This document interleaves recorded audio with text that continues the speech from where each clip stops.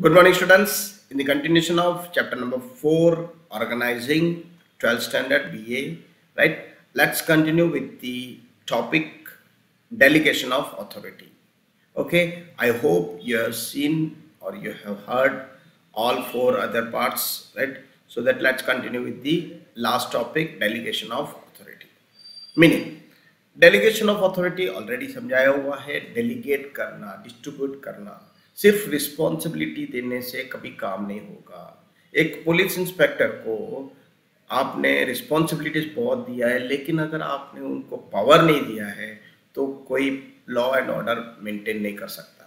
तो वही होता है you need to give authority along with responsibility तो वही पढ़ना है हमको चलो let start According to the legal view, power means authority to take legal action. But in business units, power is to give orders and also to see to it that orders are followed. The business में कैसा है? To give order, order मतलब to give work and see to it that the work is being completed as per the requirement.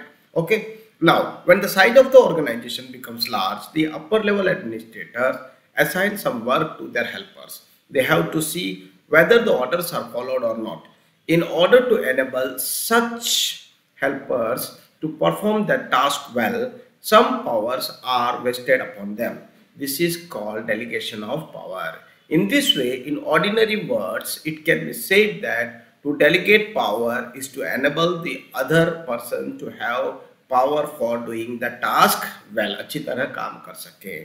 Definition. According to Lewis Allen, Delegation of power is such kind of process in which the administrator gives a part of the power to his helpers along with duties and the helpers with the help of others for the purpose of work performance accept such powers consciously. In the delegation of power, the undertaking of the responsibility is the main thing. The helpers are given powers and they are responsible to get the work done, but the final completion of the work and its responsibility rests with the upper level so administrator only and he cannot free himself from that अब ये भी है देखिए as a manager भले मैंने delegation of authority मतलब powers तो दे दिए मेरे असिस्टेंट मैनेजर को but whatever happen if it is wrong also i am responsible because it's my job to see that the work is done according to the plan right this is the thing next importance Delegation of power relieves upper level administration from more work. Hence, they can focus upon policy matter due to which management is more efficient. Hence, it can be said that powers is the key to administrator, but delegation of power is the key to organization. One line answer या one word answer.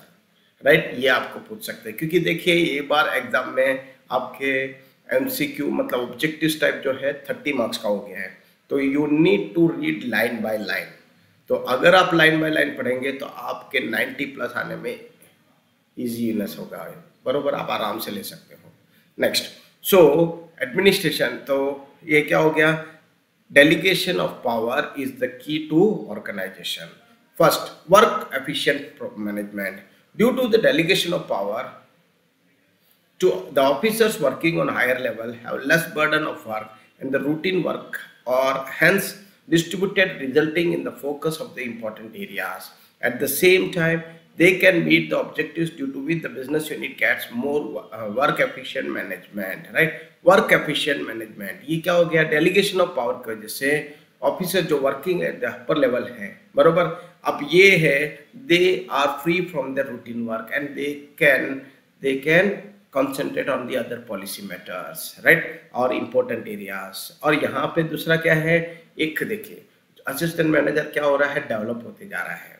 The development of employees different employees working in the organisation get an opportunity to work and take decision due to decentralisation of power due to which they are confidence is improve they can have a better decision making capacity and take logical decision due to constant need to of taking decision ये that is the thing ये एक ही बात है कि हम अपने employees को develop कर रहे हैं By distribution of power and responsibility okay तो उनको उनको एक कॉन्फिडेंस आते जाता है और वो उसका डेवलपमेंट और उनका डेवलपमेंट मतलब ऑर्गेनाइजेशन का भी development motivation Due to delegation of power, the employees have the chance to develop their abilities, due to which they also gain psychological uh, benefits. When the higher administrator delegates the power and enables decentralization to the helpers, such helpers not only get the work accomplished, but at the same time get boost to self-confidence due to such work accomplishment.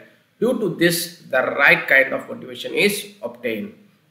Benefit of specialization. In a single unit, it is possible that all the employees may not have abilities in all the fields and areas.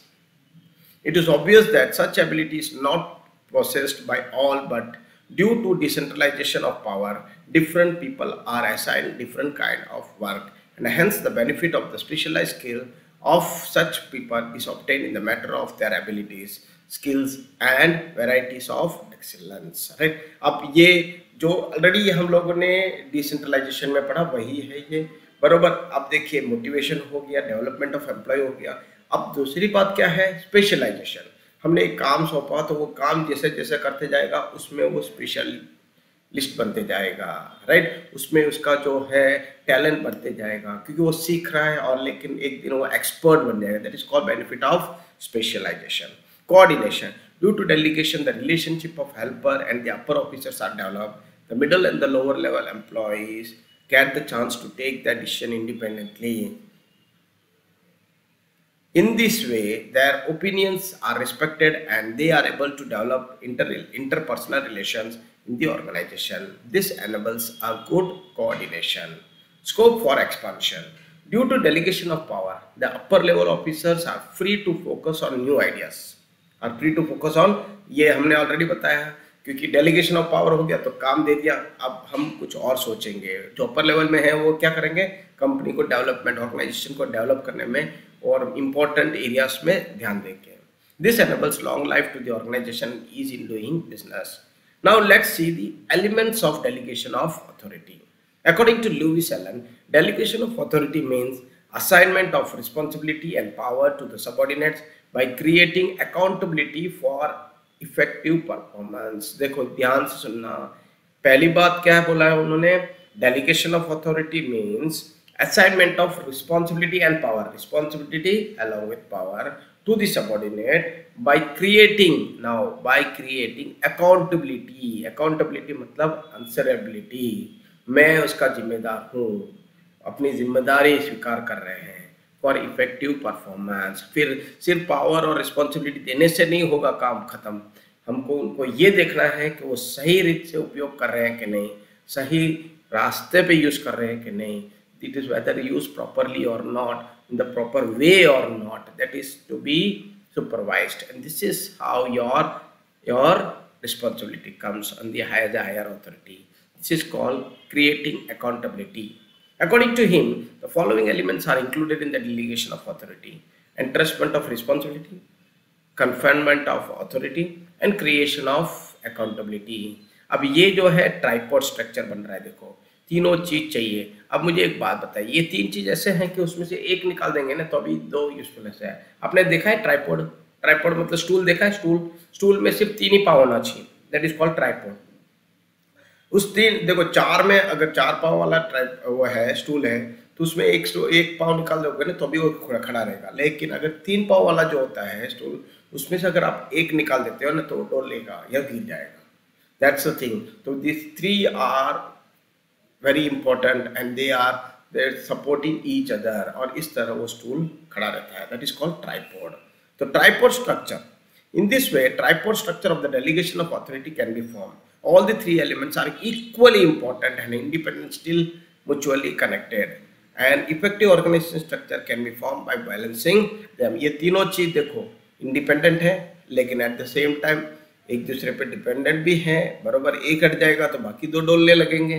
इसलिए ये भी है तो वो inter relationship भी अच्छा रहेगा। Coordination corporation ये जो है वो होना चाहिए। और at the same time they are all are equally important क्या बोलते हैं इसको? इक्वली इंपॉर्टेंट फ़र्स्ट पढ़ते हैं entrustment of responsibility Entrustment of responsibility is the duty assigned by the top level officer to the subordinate for a particular work. The responsibility is given to accomplish a particular task. It creates a relationship between superior and subordinate because the subordinate is expected to follow the orders given by the superior right that is this assignment of responsibility flows from always top सही बात है ना order जो है हमेशा top to bottom बराबर reporting हमेशा bottom to top तो यहाँ पे रिस्पॉन्सिबिलिटी देते हैं एंट्रेसमेंट ऑफ़ रिस्पॉन्सिबिलिटी मतलब कौन देता है ऊपर से नीचे देते हैं एट द सेम टाइम साथ में पावर भी दिया जाता है अब पावर कब है? Conferment of authority by giving power to a person result can be obtain by work क्योंकि ऊपर अगर आपने रिस्पॉन्सिबिलिटी दिया, उस रिस्पॉन्सिबिलिटी को निभाने के लिए क्या चाहिए?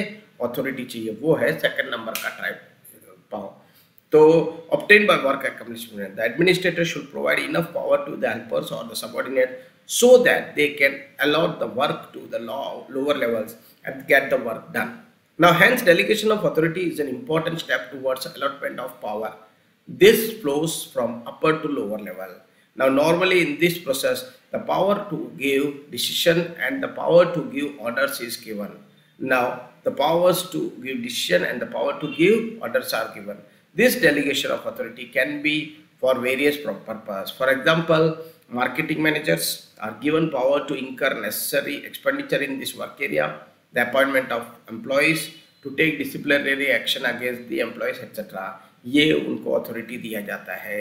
तो अगर ये अथॉरिटी अगर मार्केटिंग मैनेजर को नहीं देंगे तो जैसा एक्सपेक्टेड हमारा रिज़ल्ट है, वो नहीं मिलेगा right creation of accountability now the delegated authority holder has to provide proper explanation and follow reporting process to the top level management this is known as accountability he may sure be given powers to get the work done by the others but finally the responsibility of getting the work done rest with the upper level administrator only. Hence, the middle level authority holders, holders should take care to ensure that the work is properly done by the lower level staff.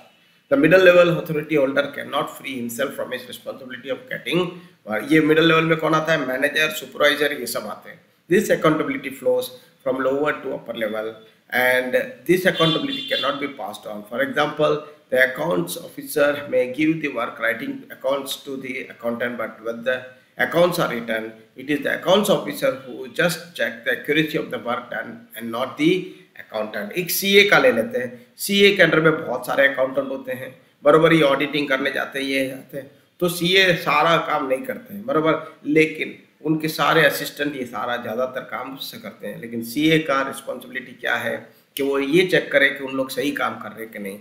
क्यों?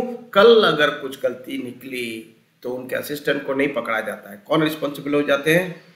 सी A तो this is called accountability okay so students we have completed this chapter.